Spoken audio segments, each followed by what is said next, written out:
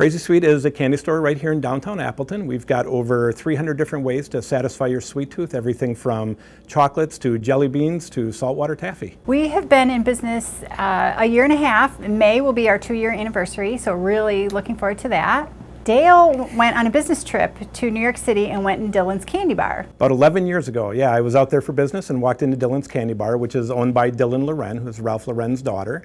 Um, and it was just a really neat place. So they had lots of color, lots of candy. I have a huge sweet tooth to start with, but just seeing all the kids running around and everybody was in a good mood and happy, and I just always thought it would be really neat to have my own candy store someday. And here we are. We love being downtown awesome. I grew up in this area and have very fond memories of the downtown. I had been moved away for quite a while and moved back about four years ago. And when we were doing the research to, you know, to do the candy store, foot traffic was essential to the, you know, to the success of a candy store.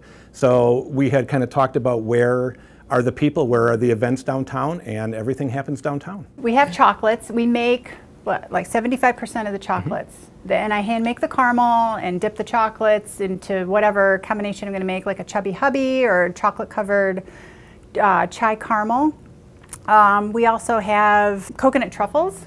That's all handmade as well. So we have a nice, small but nice variety of chocolates. One of our best selling things are, believe it or not, is Zotz.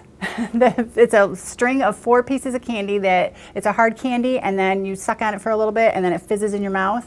People love those. It, it's one of those candies that we had when we were kids, and now these grown-ups are coming in with their kids who have never had it, and they want them to experience the same thing. And we have a lot of nostalgic type candy in here mm -hmm. that people come in and can't believe that it's still even being made, much less being able to be purchased. Mary and I both love it here very much, and downtown Appleton is just really one great place.